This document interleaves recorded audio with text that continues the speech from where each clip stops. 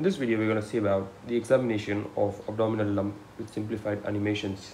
And if you're new to my channel, make sure to hit the subscribe button so that you'll not miss out any of my upcoming videos. Make sure to watch this video till the end. There are some freebies to download for free in the end of this video. Let us see the sequence on how to do examination of an abdominal lump. First, we have to do inspection, followed by palpation, and then percussion. Inspection is just observing with your eyes. Palpation is when you palpate with your hands. And percussion is something you do with your two hands, which is demonstrated in the graphic here. I'll be talking about that in detail towards the end of the video. So first, let's talk about inspection. We have to define the position, size, and shape of the lump in the abdomen. So that uh, to identify the position of the lump, we are dividing the abdomen into nine regions by two horizontal lines and two vertical lines as you see in the image here. The two vertical lines are drawn through the midpoint between the anterior superior spine and the pubic symphysis as shown by circles in this image. The horizontal lines are two in number. The upper horizontal line is also called as transpyloric plane because it passes through the pylorus of the stomach. It is present midway between the xiphisternum and the umbilicus as you can see here in this image. The lower horizontal line is called as transtubercular line because it is present at the level of tubercles of the iliac crest of the pelvic bone. So with this, we are dividing the abdomen into nine regions which will help us to identify position of a lump. So as numbered in this image, number 1 is right hypochondrium, 2 is epigastrium, 3 is left hypochondrium, 4 is right lumbar, 5 is umbilical, 6 is left lumbar, 7 is right iliac, 8 is hypogastrium, 9 is left iliac. So let us consider a lump is present in this region as shown in the image. It is approximately right hypochondrium. Then we have to approximately tell the size of the swelling uh, just by seeing the swelling. So we are saying that it is approximately 5 cross 5 centimeter here and we have to also tell about the shape of the swelling. So here we are saying that it is round in shape. The shape is not clearly made out. You can say that the shape is ill defined. So we also have to comment about the condition of the skin over the swelling. So the skin is tense. It is because the skin is stretched by an underlying lump and if the skin is red that is because of inflammation like abscess or underlying acute appendicitis and if the skin is shining it is also because of stretch can be because of an underlying lump which is stretching the skin can be pigmented because of deposition of pigments in the lump and there can be sinus or fistula opening on the swelling we also have to look for engorged veins over the swelling. The engorged veins over the swelling. It indicates that the swelling is hypervascular like a sarcoma. And you can also look for dilated tortuous veins which are radiating from the umbilicus, which is known as caput medusae. It is because it represents, it looks like the hair of a Greek creature called uh, Medusa. Then we have to observe the movement of the swelling with respiration. We're asking the patient to take deep breaths and we're seeing if the swelling is moving downwards. The swellings which originate from liver and gallbladder, spleen and stomach move downwards with respiration. That is because they are present just below the diaphragm. So during inspiration, diaphragm moves downwards. So it also pushes these structures downwards. So the swellings which originate from these structures will move downwards with respiration. Then we have to observe for visible peristalsis. You can ask the patient to lie down and observe from the side for that. It will be felt by the patient as ball rolling movements in the abdomen. So it is seen in gastric outlet obstruction and also in intestinal obstruction.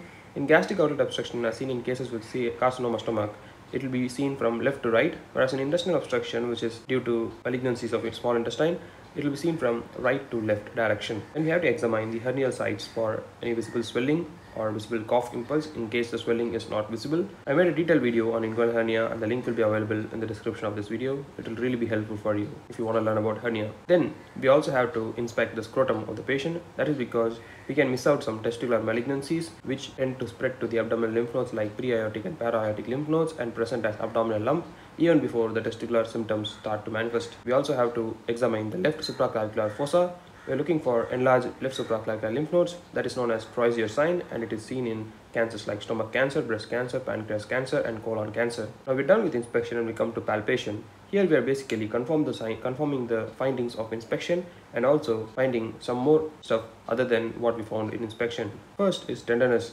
It is not as dramatic as shown in this graphic but however, what we are doing here is that we are touching or putting pressure over the swelling and we are seeing changes in the facial expression of the patient. That denotes that the, patient is having pain on pressing over the swelling. Should I make the mis mistake of asking the patient if they have pain while pressing the lump. That is not what we're supposed to do. We just have to put pressure over the swelling and distract the patient by asking some history and while doing so we observe the facial expression changes. And if there is any facial expression changes it indicates that there is tenderness and then we uh, touch and see if there is any local rise in temperature which denotes an underlying inflammation. Then as seen in inspection we are also confirming the position size and shape which we found on inspection. The size is confirmed by using a ruler. And then margins are very important finding. We have to see if the margins are well defined or ill defined. Well defined margins are usually seen in malignancy whereas ill defined margins denote that the swelling is either of inflammatory or traumatic in origin. Then we palpate and see for the consistency of the swelling. It can give us a clue regarding the origin of the swelling. Example of soft swelling is lipoma which is a benign tumor originating from adipose tissue. Cystic swelling are seen in cysts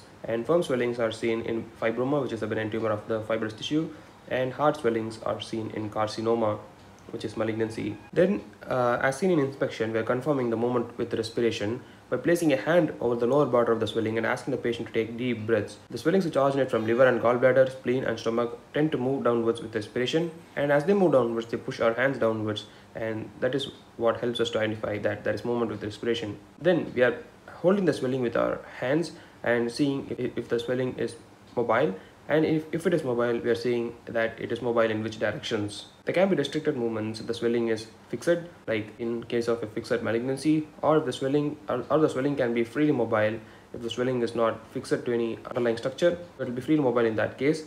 And then we see about ballotability of the swelling. So before seeing what is ballotability just know that the renal swellings can be ballotable so how to elicit ballotability that is done by placing one hand behind the loin of the patient and the other hand in front of the abdomen and putting pressure and moving anterior in anterior posterior direction and you'll be able to palpate the renal swellings. And then we have to find if the swelling is parietal in origin or intra-abdominal. Parietal means it arises from the abdominal wall layers like the muscles. Intra-abdominal means it arises from the within the abdomen like from any viscera in the abdomen. It can be done by two tests namely rising test and leg lifting test also known as Garnett test basically these two tests have similar principles. In rising test, we ask the patient to keep their hands over the chest and raise their head. By doing so, they are making the abdominal muscles taut. If the swelling is arising from the uh, parietal layers, the anterior abdominal wall layers, the swelling will become more prominent on doing so. Whereas during this test, if the swelling becomes less prominent or disappear, it means that it is intra-abdominal in origin this is because when the abdominal muscles become taut, an intra-abdominal swelling will be pushed inside, so it will be it will become less prominent or invisible. Similar mechanism is for the leg lifting test, also known as Garnett test. So we're making the abdominal muscle taut. Parietal swellings become more prominent, whereas intra-abdominal swellings become less prominent on doing this test. And then we have to see if the swelling is pulsatile or not. It is of two types. The first type is transmitted pulsations, that is seen if the swelling is present just above the aorta so the pulsation of aorta are just getting transmitted on the swelling and we are able to palpate it over the abdomen of the patient. So the pulsation is not originating from the swelling per se. In this case, it is just transmitted from the aorta. The second one is called as expansile pulsation. Here the swelling is originating from the aorta itself. For example, in case of aortic aneurysm, the swelling will be originating from the aorta itself and it will be felt on the abdomen during palpation. How to differentiate between transmitted pulsation and expansile pulsation, we'll see that now. So in expansile pulsation, as, as you see in the graphic in, on the right side, we are placing the index fingers of both hands on the sides of the swelling and since it is expansile in nature, you, it, the fingers will be moving away from the swelling in expansile pulsation whereas in transmitted pulsation you'll be feeling the pulsations but the fingers won't move away. You also have to palpate the hernial orifice to look for swellings like inguinal hernia or inguinal lymph nodes and also you have to see if there is any palpable cough impulse, asking the patient to cough and see if there is any impulse felt at the hernial orifice site. I made a detailed video on inguinal hernia and the link will be in the description of this video. Then you have to palpate the liver, spleen and kidney because these are important organs and if the swelling, if these, while palpating these organs, you can get a clue regarding the origin of the swelling if they origin if they originate from any of these structures. You have to try to insinuate your fingers between the swelling and costal margin. If the swelling originates from liver and spleen which are present just beneath the costal margin, will it not be possible to insinuate your fingers between the costal margin and the swelling. Then you have to do percussion. So percussion involves placing your index finger of left hand over the swelling and tapping it with the index finger of right hand over the index finger of the left hand as demonstrated in this graphic here and then you have to hear the sound produced. So it is usually tympanic while percussing on abdomen. That is because of presence of air in the bowel loops. Whereas if you percuss over uh, solid organs like liver and spleen it will be dull. Percussion also helps us to identify presence of free fluid in the abdomen. It can be done by various tests like fluid thrill and shifting dullness. And since they are not related directly to uh, examination of abdominal lump i thought of making a separate uh, two or three minute video on uh, demonstration of free fluid in the abdomen so once it is ready it will be available in the description. And please make sure to check out my videos on hydrocele hernia and a super interesting video on cleft lip and cleft palate which will be very helpful to you. And the slides for this video will be available for free. The link will be in the description. You can click that and download the slides for free. Please make sure you hit the like button share this video to your friends and hit the subscribe button so that you can keep watching all my upcoming videos without missing out any of them. And it will also help me to make more videos for you guys you can support my channel by donating on buymeacoffee.com slash medvids while downloading the slides for free. And also you can follow me on instagram. The id will be in the description of this video. Click this video right here to watch the next video and you can watch my entire surgery playlist by clicking right here. Please make sure to subscribe for more videos. Thank you so much for watching this video till the end. I'll see you guys in my next video. Bye